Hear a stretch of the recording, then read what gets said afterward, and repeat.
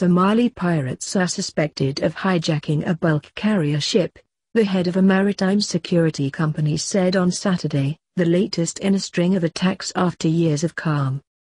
Graeme Gibbon Brooks, the head of private company Dryad Maritime Intelligence, said industry sources had confirmed the hijacking.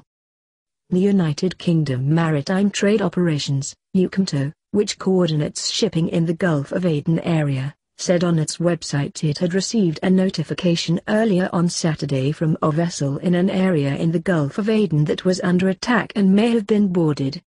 Vessels transiting the area are advised to exercise extreme caution, UKMTO said, without giving more details. The hijacking comes days after pirates hijacked an Indian dhow that was en route to Bosaso from Dubai. Somali pirates hijacked an oil tanker in March, the first such seizure of a vessel since 2012, but released it after a clash with the Marine Force in Puntland.